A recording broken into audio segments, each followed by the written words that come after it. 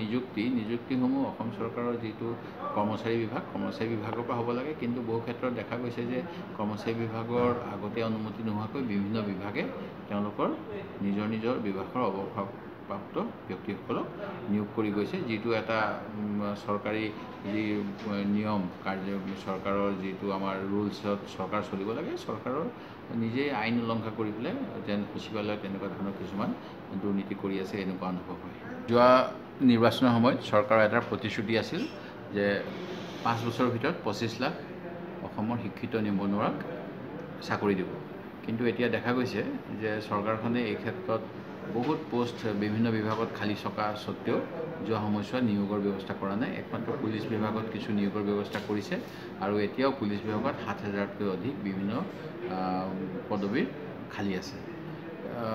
কিন্তু একে সময়তে আমি দেখা পাওঁ যে অসম চৰকাৰে বিভিন্ন বিভাগৰ পৰা অৱসৰ লোৱা ব্যক্তি কিছুমানক কোনো ধৰণৰ এডভাৰটাইজমেণ্ট নকৰাকৈ কোনো ধৰণৰ কেবিনেট এপ্ৰুভেল নোহোৱাকৈ অ' এছ ডি বা এডভাইজাৰ আদি পদত নিয়োগ কৰি আছে। আৰু ইয়াৰ যোগেদি তেওঁলোকে প্ৰকৃততে অসম চৰকাৰৰ যিটো অৰ্থ মানে ৰাজ যিটো তেওঁলোকৰ ইকনমিক যিটো অৱস্থা ইয়াৰ ওপৰত আৰু অধিক বুজা দি আছে।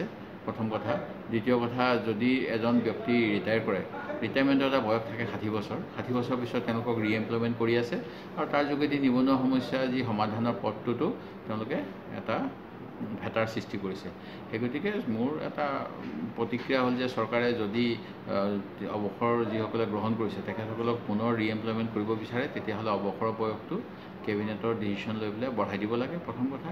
আৰু অন্যথা যিটো তেওঁলোকে কিছু বিষয়াক তেওঁলোকৰ যিসকল তেওঁলোকৰ য়েছমেন বা তেওঁলোকৰ ভাবে যে তেওঁলোকৰ বাবে অপৰিহাৰ্য তেওঁলোকৰ নীতি ৰূপায়ণৰ বাবে তেখেতসকলক যদি তেওঁলোকে ভাবে যে তেওঁলোকক এনেকৈ ধৰণেই পুনৰ নিয়োগ কৰা দৰকাৰ তেতিয়াহ'লে তেওঁলোকক কৰক।